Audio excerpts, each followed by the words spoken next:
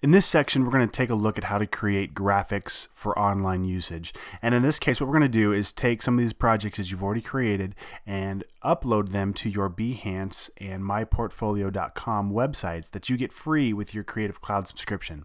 So it's going to be kind of a two for one. We're going to learn how to handle graphics for website usage, and we're also going to learn how to create our portfolio. Because here's the deal, you know, I, nobody ever asked me what kind of grades I got in college or you know what my GPA was in high school or any of that kind of stuff. They really don't care. They just care about what kind of work can I produce and do they like the style. So you're going to have to have some kind of portfolio sooner or later if you want to land a career as a graphic designer. So what we're going to do in the next lesson is quickly get an overview of both Behance and the myportfolio.com websites. And then I'm going to show you how to export your graphics straight out of Photoshop and Illustrator.